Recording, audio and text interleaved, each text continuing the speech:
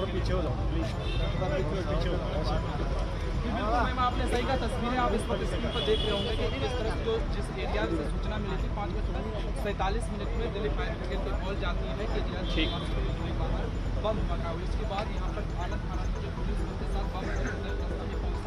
और पूरे एरिया को सील कर दिया जाता है। मैं अपने कैमरे में दूँ दोनों तो तस्वीरें दिखाएँगे जिस तरह से दोनों क्रॉस लाइन लिखा हुआ पड़ती दिखा होगा उस तरह आप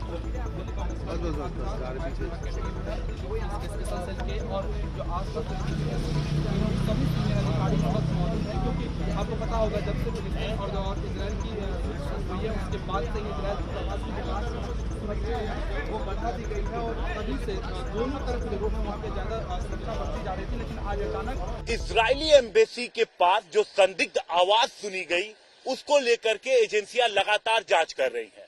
ठीक उसी जगह पर हम मौजूद हैं, जहाँ पर यह आवाज़ सुनी गई, बैक साइड है ये आप आप देखिए, जो ये फुटपाथ का इलाका देख रहे हैं, यहीं पर बताया जा रहा है कि लोगों ने आवाज़ सुनी, जिसके बाद पुलिस को कॉल किया गया। और आप देखिए, इस वक्त अगर हम अगले दिन सुबह की तस्वीरें आपको दिखाएँ तो इस जगह पर आपको पुलिस की पूरी मौजूदगी नज़र आएगी। आप देखिए, दिल्ली पुलिस की पूरी मौजूदगी यहाँ पर है।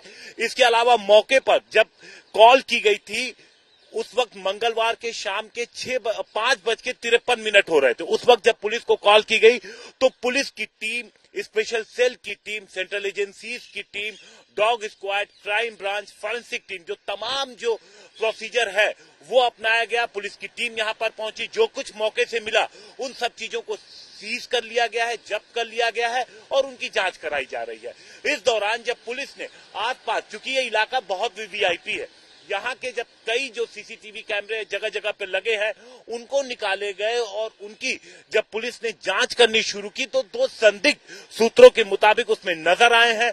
उन दो संदिग्धों की पहचान की कोशिश की जा रही है और साथ ही साथ किस रूट से वो आए थे, उस रूट को ट्रैक करने की कोशिश की जा रही है कि किस रूट से वो आए थे। इसलिए आसपास के पूरे इलाके के सीसीटीवी फुटेज की लगातार छानबीन की जा रही है। और इसके अलावा जो पत्र यहाँ से मिला था उसकी भी पुलिस जाँच कर रही है। कैमरामैन अंकित जैन के साथ हिमांशु मिश्रा, दिल्ली, आज तक।